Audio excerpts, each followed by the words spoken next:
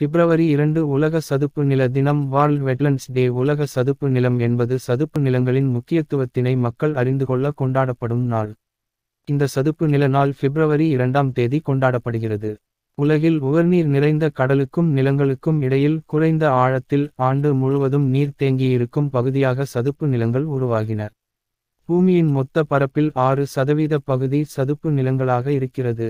இவை பெரும்பாலும் இயற்கையாக உருவானவை மனிதனால் உருவாக்கப்பட்டவை என இரண்டு பிரிவாக வகைப்படுத்தப்பட்டிருக்கிறது.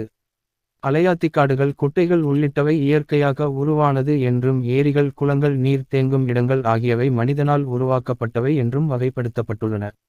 ஆயிரத்து தொள்ளாயிரத்து எழுபத்தொன்றில் ஈரான் நாட்டின் ராம்சர் நகரில் பதினெட்டு நாடுகளைச் சேர்ந்த பிரதிநிதிகள் சதுப்பு நிலங்களையும் நீர்நிலைகளையும் பாதுகாப்பது குறித்து விவாதித்து சில முக்கிய முடிவுகளை எடுத்தனர். இதே நாளை உலக சதுப்பு நில நாளாக ஒவ்வொரு ஆண்டும் கொண்டாடப்பட வேண்டும் என்றும் முடிவு செய்தார்கள்.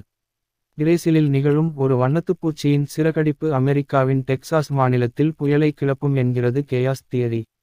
அப்படித்தான் நாம் செய்யும் சின்ன சின்ன சூழலியல் தவறுகளும் நம் சந்ததியை பாதிக்கிறது. நாம் அனைவரும் வகைத்தொகை இல்லாமல் சுற்றுச்சூழலை அழித்து கொண்டிருக்கிறோம் என்பதை நாம் உணராமல் இருக்கிறோம்.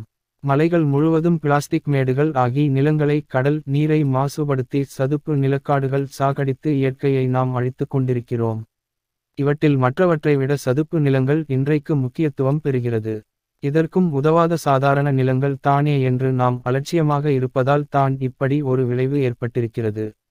சுற்றுச்சூழலும் பாதிக்கப்படுகிறது. இதனால் பருவம் தவறி மழை பெய்கிறது. நாம் எதிர்கொள்ளும் பல்வேறு பிரச்சனைகளுக்கு பின்னணியில் நாம் தான் இருக்கிறோம். அது என்ன ஈரநிலங்கள் என்ற கேள்வி எழும். உலகெங்கிலும் உள்ள ஈரமான புல்வெளிகள் ஆறுகள் கழிமுகங்கள் கடலோரப் பகுதிகள் பவளத்திட்டுகள் நிலங்கள் குளம் குட்டைகள் ஏரிகள் குளங்கள் நீர்த்தேக்கங்கள் நெல்வயல்கள் சதுப்பு நிலக்காடுகள் உள்ளிட்டவற்றை ஈரநிலங்கள் என்று சொல்கிறோம். கடலுக்கும் நிலப்பகுதிக்கும் இடையே ஆழம் குறைந்த ஆண்டு முழுவதும் நீர் தேங்கியிருக்கும் நிலப்பரப்புகளை சதுப்பு நிலங்கள் என்று நாம் சொல்கிறோம்.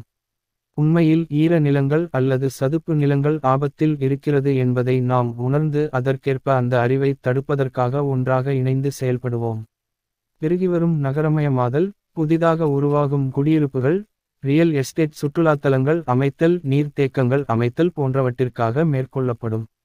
திட்டங்களால் தான் சதுப்பு நிலங்கள் அழிவை சந்தித்து வருகின்றன. நிலத்தடி நீர் வளம் குறைக்கிறது. முக்கியமாக நீரை வடிகட்டி நன்னீராக மாற்றும் செயல் நின்று போகிறது.